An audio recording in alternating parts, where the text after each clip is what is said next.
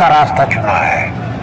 वो रास्ता तुम लोगों को सीधा जन्नत में लेकर जाएगा। बहत्तर हुरे।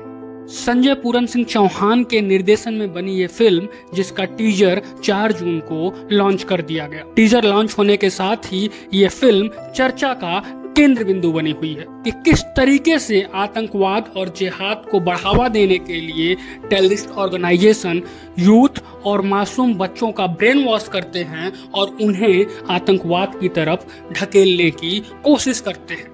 हमारी अनछुई तुम्हारी तुम्हारी हमेशा के लिए।